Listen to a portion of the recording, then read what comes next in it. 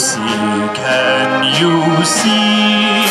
By the dawn's early light what so proudly we hailed at the twilight's last gleaming whose broad stripes and bright stars through the perilous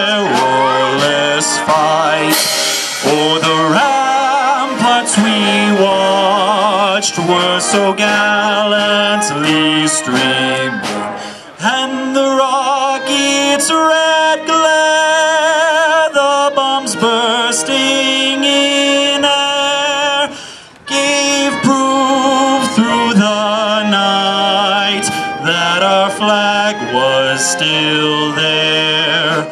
Oh say does that that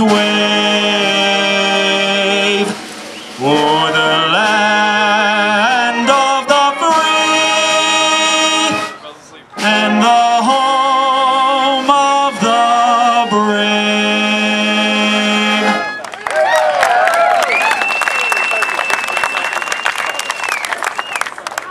I know. I really tried to